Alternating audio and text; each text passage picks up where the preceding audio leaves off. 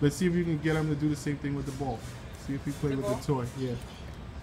So there's the food, guys. The, the food drive is insane. You can definitely have him work for that. So we're gonna pick up the ball. He's Sit. showing some interest Sit. and obedient. Look at that, guys. Semi interested in the ball. Definitely a lot more interested in the food, but Boy, interested in the ball. boy. Throw the other one. Get the ball. Come. Rio. Good. Just throw the other one. Bounce the other one. Keep two. There's one behind you. Bounce it. Bounce it hard. We're just gonna play with him a little bit, see if he's interested. Bounce it. Yes, bounce it hard. Good boy.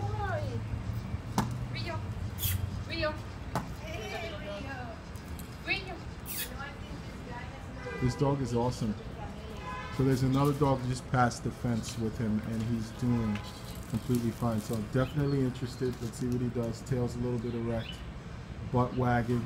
So he's definitely showing some interest, but it doesn't look like or appear to be aggression or anything like that. So if there's another dog in the home, there's a good chance that uh, you know this dog would fit into the home with your with your current animal, your current pet because there was no discretion in that. There was no aggression in that um in that meeting, that exchange behind the fence.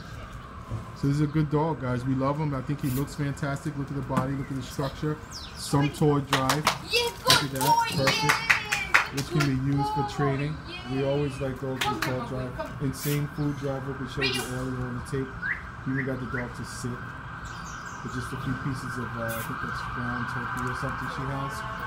Um, fantastic dog. Fantastic potential member to your family. We love this guy a lot. He's an awesome, awesome dog.